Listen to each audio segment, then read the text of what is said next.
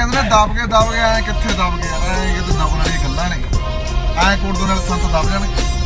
Video ਬਹੁਤ ਆਉਣਗੀਆਂ, ਬਹੁਤ।